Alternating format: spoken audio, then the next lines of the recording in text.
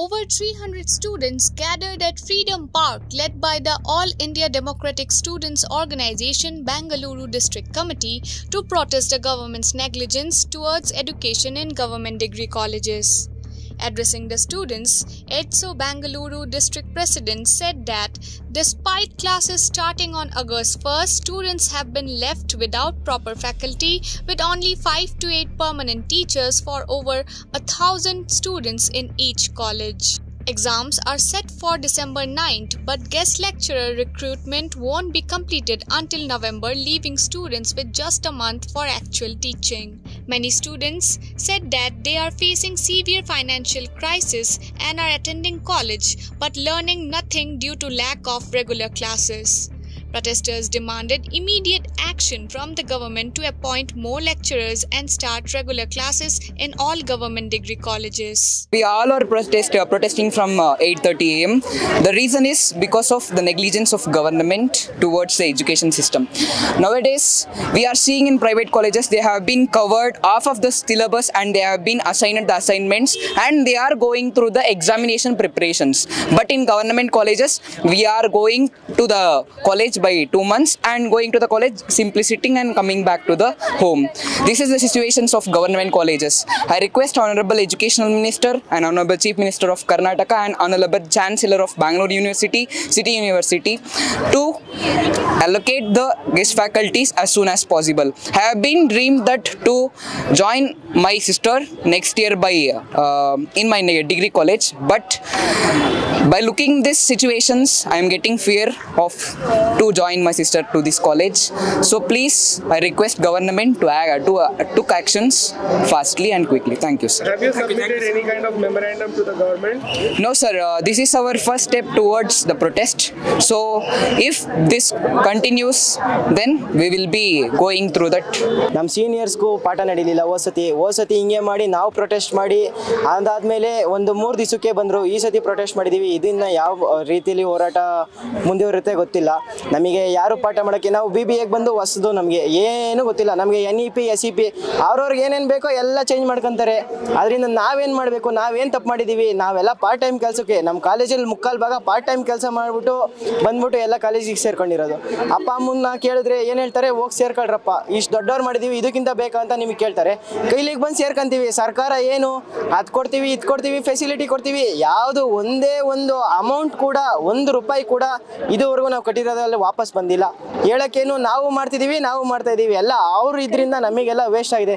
ಹಂಗೆ ಅನ್ಕೊಬೋದು ಇವಾಗ ಪೀಣ್ಯ ಕಾಲೇಜು ಅಥವಾ ಡಿಗ್ರಿ ಕಾಲೇಜ್ಗಳು ಅಂದರೆ ತುಂಬ ಗೌರವ ಇದೆ. ಈ ಥರ ಲೆಕ್ಚರರ್ಸ್ ಇಲ್ಲ ಅಂದ್ಬಿಟ್ಟು ಯಾವ ಕಾಲೇಜಲ್ಲೂ ಎಲ್ಲ ಸೇರಿಸಿರೋರೆಲ್ಲ ಇವಾಗ ಹೊಸದಾಗಿ ಇಂಪ್ಲಿಮೆಂಟ್ ಮಾಡಿದ್ದಾರೆ ಎರಡು ಕೋರ್ಸ್ನ ಆ ಜನ ಏನು ಮಾಡ್ತಿದ್ದಾರೆ ಅಂದರೆ ನಮಗೆ ಏನು ಲೆಕ್ಚರರ್ಸ್ ಇಲ್ಲ ಅಂದ್ಬಿಟ್ಟು ಲೆಕ್ಚರರ್ಸ್ ಇಲ್ಲ ಅಂದ್ಬಿಟ್ಟು ಅಡ್ಮಿಷನ್ ಕ್ಯಾನ್ಸಲ್ ಮಾಡಿಸಿದ್ದಾರೆ. ಅದರಿಂದ ನಮ್ಮ ಕಾಲೇಜಲ್ಲ ಸ್ಟ್ರೆಂತ್ ಎಲ್ಲ ಕಮ್ಮಿ ಆಗ್ತಿದೆ. ಇಲ್ಲಿವರೆಗೂ ತುಂಬ ಹೆಸರು ಉಳ್ಸ್ಕೊಂಬಂದಿದ್ದೀವಿ. ಇವಾಗ ಇವಾಗೆಲ್ಲ ಹಾಳು ಮಾಡ್ತಿದ್ದಾರೆ. ಎಲ್ಲ ಗೌರ್ಮೆಂಟಿಂದನೇ ಕಾರಣ. ಸರ್ಕಾರನೇ ಕಾರಣ. ಹಿಂಗೆ ಇದು ಇದರಿಂದ ಹುಡುಗರೆಲ್ಲ ಮಾತಾಡ್ಕೊತಿದ್ದಾರೆ. ಏನು ಮಾಡೋಕ್ಕಾಗಲ್ಲ. ಹೇಳ್ಬೋದು, ಹೇಳೋಷ್ಟು ಹೇಳಿದ್ದೀವಿ ಹಂಗಾಗಿ ಸೀನಿಯರ್ಸ್ ಹೋಗಿ ಸೆಕೆಂಡ್ ಇಯರಿಗೆ ಪಾಠ ಮಾಡೋದು ಸೆಕೆಂಡ್ ಇಯರ್ ಫಸ್ಟ್ ಇಯರ್ ಅವ್ರಿಗೆ ಪಾಠ ಮಾಡೋದು, ಏನು ಒಂದು ಸಬ್ಜೆಕ್ಟ್ ಪಾಠ ಮಾಡ್ಬೋದು, ಆರ್ ಸಬ್ಜೆಕ್ಟ್ ಯಾರು ಪಾಠ ಮಾಡೋಕ್ಕಾಗುತ್ತೆ, ಏನು ಸಂಬಳ ಕೊಡ್ತಾರಾ? ಇಲ್ಲ ಸೀನಿಯರ್ಸ್ಗೆ ಏನಾದರೂ ಬೇರೆ ಏನಾದರೂ ಸಂಬಳ ಕೊಟ್ಟು ಮಾಡಿರಿ ಅಂತ ಹೇಳ್ಕೊಡ್ತಾರಾ? ಯಾರೂ ಇಲ್ಲ ಗೌರ್ಮೆಂಟ್ ಫ್ಯಾಕಲ್ಟೀಸು ಆಮೇಲೆ ಗೆಸ್ಟ್ ಲೆಕ್ಕ ಲೆಕ್ಚರರ್ಸ್ ಅಂತೂ ಯಾರೂ ಇಲ್ಲ. ಇರೋ ಹದಿನಾರು ಕ್ಲಾಸಲ್ಲಿ ಬರೀ ಎಂಟು ಜನ ಪರ್ಮನೆಂಟ್ ಟೀಚರ್ಸ್ ಇದ್ದಾರೆ. ಎಂಟು ಜನ ಟೀಚರ್ಸ್ ಎಷ್ಟು ಜನ ಹ್ಯಾಂಡ್ಲ್ ಮಾಡ್ಬೋದು? ಹ್ಯಾಂಡ್ಲ್ ಮಾಡೋಕ್ಕಾಗಲ್ಲ. ನೋಡಿ ಏನು ಮಾಡ್ತೀವಿ. ಮುಂದಿನ ದಿನಗಳಲ್ಲಿ ನಿಮ್ಮ ನಿರ್ಧಾರ ಏನಿದೆ? ಇದು ಹೋರಾಟ ಇನ್ನ ಕಂಟಿನ್ಯೂ ಆಗುತ್ತೆ ಸರ್ ಒಂದು ಕಾಲೇಜಿಂದ ಮಾಡಿ, ಇವಾಗ ಎಲ್ಲ ಕಾಲೇಜಲ್ಲೂ ಇದೆ ಕಾರಣ. ಕರ್ನಾಟಕದಲ್ಲಿ ಎಷ್ಟು ಕಾಲೇಜ್ ಇದೆ ಸರ್ ಎಲ್ಲ ಫಸ್ಟ್ ಗ್ರೇಡ್ ಕಾಲೇಜ್ ಅಂದ್ರೆ ಎಲ್ಲ ಔಟ್ಪುಟ್ ಆಗೋ ಸ್ಟೂಡೆಂಟ್ಸೇ ಎಲ್ಲ ಕೆಲಸ ಬೇಕು ಎಲ್ಲರೂ ಎಲ್ಲರಿಗೂ ಇವಾಗ ತೊಂದರೆ ಆಗಿದೆ. ಹಿಂಗೆ ಆದರೆ ಏನು ಸರ್ ಎಲ್ಲ ಹುಡುಗರೆಲ್ಲ ಗ್ಯಾರೇಜು, ಹುಡುಗಿರೆಲ್ಲ ಮ್ಯಾರೇಜ್ ಅಷ್ಟೇ ಸರ್ ಇನ್ನೇನು ಮಾಡೋಕ್ಕಾಗಲ್ಲ. ಗೌರ್ಮೆಂಟ್ ಡಿಗ್ರಿ ಕಾಲೇಜ್ಗಳು ಸ್ಟಾರ್ಟ್ ಆಗಿ ಎರಡು ತಿಂಗಳಾಗಿದೆ. ಬಟ್ ಆ ಕಾಲೇಜುಗಳಲ್ಲಿ ಎಂಟೈರ್ ಸ್ಟೇಟಲ್ಲಿ ಯಾವುದೆಲ್ಲ ಯಾವುದೆಲ್ಲ ಯಾವುದೆಲ್ಲ ರಾಜ್ಯದಲ್ಲಿ ಕಾಲೇಜ್ ಸ್ಟಾರ್ಟ್ ಆಗಿದೆ, ಯಾವ ಕಾಲೇಜಲ್ಲೂ ಕೂಡ ಕರೆಕ್ಟಾಗಿ ಪಾಠ ನಡೆದಿಲ್ಲ. ಯಾಕೆ ಅಂತಂತಂದರೆ ಸುಮಾರು ವರ್ಷಗಳಿಂದ ಗೌರ್ಮೆಂಟ್ ಡಿಗ್ರಿ ಕಾಲೇಜುಗಳು ನಿಂತ್ಕೊಂಡಿರೋದೇ ಗೆಸ್ಟ್ ಲೆಕ್ಚರರ್ಸ್ ಮೇಲೆ.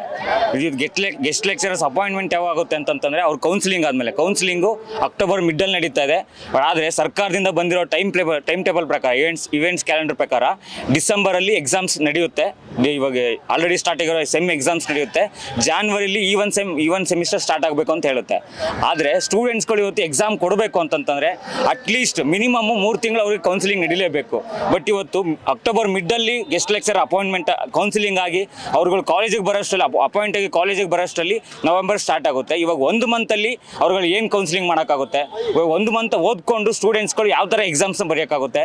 ನಾವುಗಳು ಸರ್ಕಾರಕ್ಕೆ ಏನು ಮನವಿ ಮಾಡ್ತಾ ಇದೀವಿ ಅಂತಂದರೆ ಇಮಿಡಿಯೇಟ್ಲಿ ಏನು ಈ ಪ್ರಾಬ್ಲಮ್ ಆಗ್ತದೆ, ಇದನ್ನು ರಿಸಾಲ್ವ್ ಮಾಡ್ಬೇಕಂತೇಳಿ ಡಿಮ್ಯಾಂಡ್ ಮಾಡ್ತಾ ಇವತ್ತು ಹಲವಾರು ಕಾಲೇಜುಗಳಿಂದ ಇವತ್ತು ಬಂದು ಎ ಐ ಡಿ ಎಸ್ ನೇತೃತ್ವದಲ್ಲಿ ಪ್ರೊಟೆಸ್ಟ್ ಆಗ್ತಾ ಇರೋದು. ನಮ್ಮ ಕಾಲೇಜ್ ಸ್ಟಾರ್ಟ್ ಆಗಿ ಟೂ ಮಂತ್ಸ್ ಆಗ್ತಾ ಬಂತು ಬಟ್ ಇದುವರೆಗೂ ಗೆಸ್ಟ್ ಲೆಕ್ಚರರ್ಸ್ ಯಾರೂ ಬಂದಿಲ್ಲ.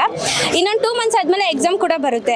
ನಮಗೆ ನಮ್ಮ ಬ್ಯಾಚು ಎನ್ ಇ ಪಿ ಆಗಿರೋದ್ರಿಂದ ನಾವು ಟೀಚರ್ಸ್ ಇಲ್ಲದೆ ನಾವೇನು ಪ್ರಿಪೇರ್ ಆಗೋಕ್ಕಾಗಲ್ಲ ಎಕ್ಸಾಮ್ಸ್ಗೆ ಸೊ ಟೀಚರ್ಸ್ ಇರಲೇಬೇಕು. ಎಲ್ಲ ಹೊಸ ನ್ಯೂ ನ್ಯೂ ಸಬ್ಜೆಕ್ಟ್ ಸಿಲೆಬಸ್ ಎಲ್ಲ ಚೇಂಜ್ ಆಗಿದೆ. ಎಲ್ಲ ಪ್ರಾಕ್ಟಿಕಲ್ ಸಬ್ಜೆಕ್ಟ್ಗಳು ಜಾಸ್ತಿ ಇರೋ ಕಾರಣ ನಮಗೆ ಟೀಚರ್ಸ್ ಅವಶ್ಯಕತೆ ತುಂಬ ಇದೆ. ನಮ್ಮ ಬ್ಯಾಚು ಮತ್ತು ಈಗಿರೋ ಸೆಕೆಂಡ್ ಇಯರ್ಸ್ ಅವರು ಎನ್ ಎ ಪಿ ಆಗಿರೋದ್ರಿಂದ ನಮ್ಮ ನಾವು ಟೀಚರ್ಸ್ ಸಹಾಯ ಇಲ್ಲದೆ ಏನೂ ಮಾಡೋಕ್ಕಾಗಲ್ಲ.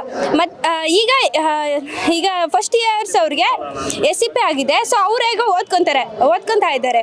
ಆದರೆ ನಮಗೆ ತುಂಬ ಕಷ್ಟ ಆಗುತ್ತೆ. ಆದರೂ ಕೂಡ ನಾವು ನಮ್ಮ ನಮ್ಮ ಕಾಲೇಜಲ್ಲಿ ಸೀನಿಯರ್ಸ್ ಕಡೆಯಿಂದ ಪಾಠ ಮಾಡಿಸ್ಕೊಂಡು ನಮಗೆ ಏನು ಫಸ್ಟ್ ಇಯರ್ಸ್ ಅವ್ರಿಗೆ ನಾವೇ ಪಾಠ ಮಾಡ್ತಾ ಇದ್ದೀವಿ. ಇದೇ ಥರ ಇದಾದರೆ ನಮಗೂ ಕೂಡ, ನಾವು ಕೂಡ ಓದ್ಕೊಬೇಕು. ನಾವು ಫೈನಲ್ ಇಯರ್ಸ್ ಆಗಿರೋದ್ರಿಂದ ನಾವು ಓದ್ಕೊಬೇಕು. ನಮ್ಮ ಬಗ್ಗೆ ನಾವು ಯೋಚನೆ ಮಾಡಬೇಕು. ನಮ್ಮ ಫ್ಯೂಚರ್ಗೆ ಪ್ರಾಬ್ಲಮ್ ಆಗುತ್ತೆ. ಸೊ ಪ್ಲೀಸ್ ನೀವು ನಮಗೆ ಟೀಚರ್ಸ್ ನಮ್ಮ ಕಾಲೇಜ್ಗಳು ಎಲ್ಲ ಗೌರ್ಮೆಂಟ್ ಕಾಲೇಜ್ಗೂ ಹೋಗೋ ಥರ ಎಲ್ಪ್ ಮಾಡಿ. ನಮಗೆ ಆಲ್ಮೋಸ್ಟು ಆಗಸ್ಟು ಒಂದನೇದಿಂದ ಫಸ್ಟಿಂದ ಕ್ಲಾಸಸ್ ಸ್ಟಾರ್ಟ್ ಆಗ್ತಿದೆ ಅಂತ ಅಂದರು. ಗ್ರೂಪಲ್ಲಿ ಮೆಸೇಜ್ ಮಾಡಿದ್ರು. ಬಟ್ ಇವಾಗವರೆಗೂ ಯಾವ ಕ್ಲಾಸಸ್ ನಡೆದಿಲ್ಲ. ಗೆಸ್ಟ್ ಲೆಕ್ಚರರ್ಸು ಯಾರು ಎಸ್ಪೆಷಲಿ ಬರ್ತಾನೆ ಇಲ್ಲ. ಪರ್ಮನೆಂಟ್ ಲೆಕ್ಚರ್ಸ್ ಬರ್ತಾ ಇದ್ದಾರೆ ಬಂದ್ರು ಅವ್ರು ಕ್ಲಾಸಸ್ ತೊಗೊಳಲ್ಲ. ಗೆಸ್ಟ್ ಲೆಕ್ಚರ್ಸ್ಗಂತೂ ಬರೋದೇ ಇಲ್ಲ. ಕಾಲೇಜ್ಗೆ ನಾವು ಡೈಲಿ ಕಾಲೇಜ್ಗೆ ಹೋಗ್ತೀವಿ ಬೆಂಚಸ್ನ ನೋಡ್ತೀವಿ. ಕ್ಲಾಸಲ್ಲಿ ಕುತ್ಕೋತೀವಿ. ಒಂದು ಎರಡು ಅವರ್ ಮೂರು ಅವರ್ ಕುತ್ಕೊಂತೀವಿ. ಬರ್ತೀವಿ ಮನೆಗೆ. ಸೊ ಡೈಲಿ ಇದೇ ಆಗಿರೋದ್ರಿಂದ ನಾವು ಪ್ರೊಟೆಸ್ಟ್ ಮಾಡಬೇಕು ಅಂತ ಕುತ್ಕೊಂಡಿದ್ದೀವಿ ನಮ್ಮ ಕಾಲೇಜಿಂದ ನಮಗೆ ಈಗ November last ವೀಕೆಂಡಲ್ಲಿ last working day December first ವೀಕಲ್ಲಿ ಎಕ್ಸಾಮ್ಸ್ ಅಂತ ಇದ್ದಾರೆ. ಸೊ ನಾವು ಏನು ಪ್ರಿಪೇರ್ ಆಗಿಲ್ಲ ಎಕ್ಸಾಮ್ಸ್ಗೆ ನಾವು ಹೆಂಗೆ ಹೆಂಗೆ ಎಕ್ಸಾಮ್ಸ್ ಬರಿಬೋದು ಅಂತ ನಮ್ಗೆ ಗೊತ್ತಾಗ್ತಾ ಇಲ್ಲ. ಸೊ ಅದಕ್ಕೆ ಇದಕ್ಕೊಂದು ಸೊಲ್ಯೂಷನ್ ಕೊಡಬೇಕು ಅಂತ ಗೌರ್ಮೆಂಟ್ ಹತ್ರ ಒಂದು ಮನವಿ ಮಾಡ್ಕೋತಾ ಇದ್ದೀವಿ ನಮ್ಮ ಕಾಲೇಜ್ಗೆ ಗೆಸ್ಟ್ ಫ್ಯಾಕಲ್ಟೀಸ್ ಬರ್ತಿಲ್ಲ. ನಮಗೆ ಎಜುಕೇಷನ್ ಪ್ರಾಪರ್ ಎಜುಕೇಶನ್ ಸಿಗ್ತಿಲ್ಲ. ಸೊ ಅದಕ್ಕೆ ನೀವು ಸರ್ಕಾರ ಏನಂದ್ರೆ ನಮಗೆ ಗೆಸ್ಟ್ ಫ್ಯಾಕಲ್ಟೀಸ್ನ ನೀವು ತಂದು ನಮಗೆ ಕಳಿಸ್ಬೇಕು ಎಜುಕೇಷನ್ಗೋಸ್ಕರ ಪ್ರಾಪರ್ ಎಜುಕೇಷನ್